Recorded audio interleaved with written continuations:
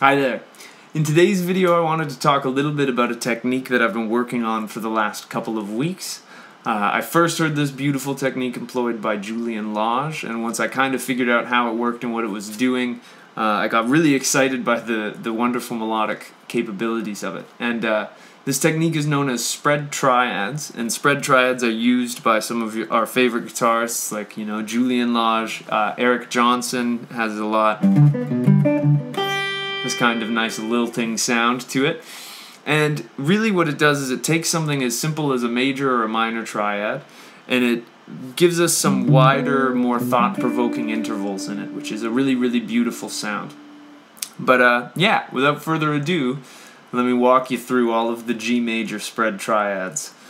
So, first off, we should probably talk about what a spread triad is. And it's a fairly simple concept where if we take a G major triad, like say this one,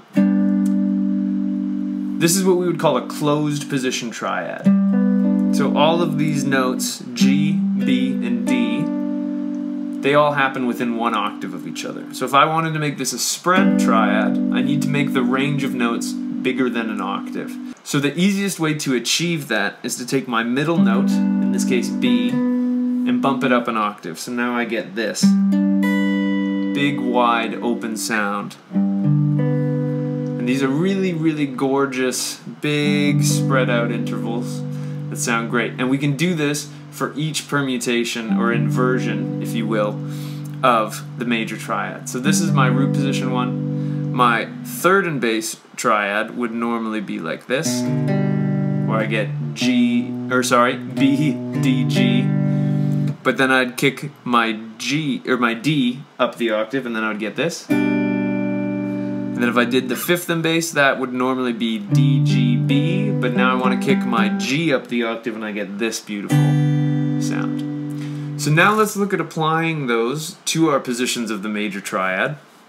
Um, each of these positions is going to have four permutations of the spread triad that we can play. So right about now, I'm going to have a diagram appearing up here in the right corner of the screen, and that is a bit of a confusing diagram on first glance, but let me break down the kind of color coding here. Where in each position, the first spread triad we play will be written in black. The second will be written in blue. Third is in red.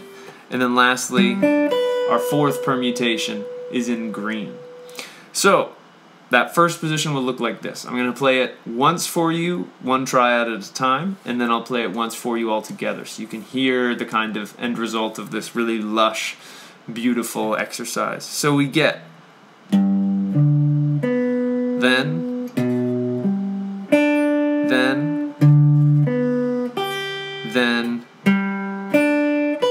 then I'll walk it back down.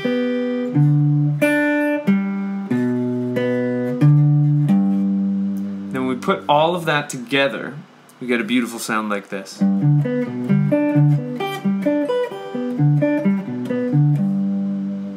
Beautiful.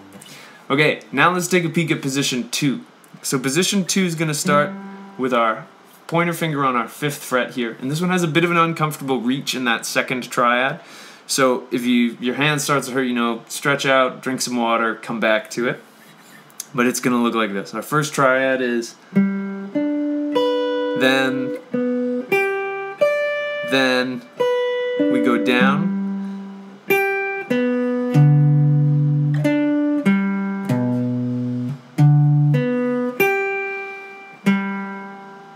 and if we put all of that together we get something that sounds like this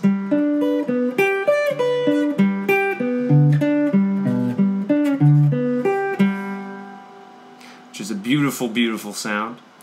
Then we come up to position 3, so now we're starting with our pinky on our 10th fret of our A string, and we're going to get something kind of like this. Here's our first triad, then back down,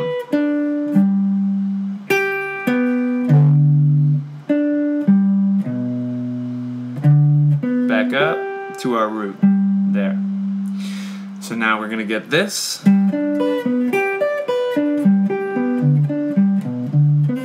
Ah, and if this video is moving a little bit too quick for you, you can always slow down the playback speed to 75 or 50%, or of course you can watch these over again.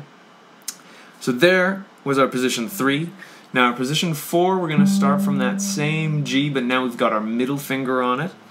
And we're going to go like this. This one also has a bit of a reach to it, but I find it to be a little bit more comfortable. You do have to bit of a do a bit of a whole hand movement, but I'll do it nice and slow before I play it in, in time for you guys. So this first one, second, now here's where we have to do the slide. Back down, then the last one.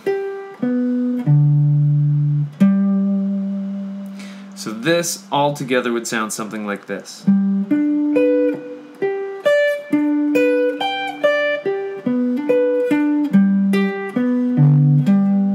going to do that guy one more time for you because I missed a note in one of them.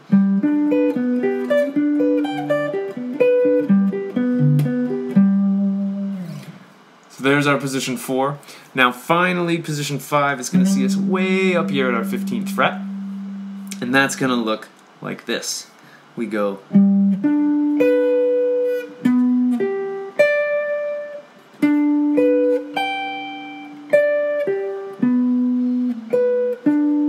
This last one has a big reach. And now finally, here's that fifth position in time.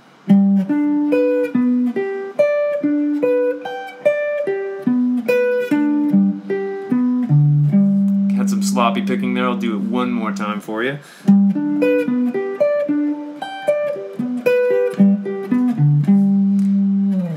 And there you have it. There's the idea of spread triads G major all the way up the neck.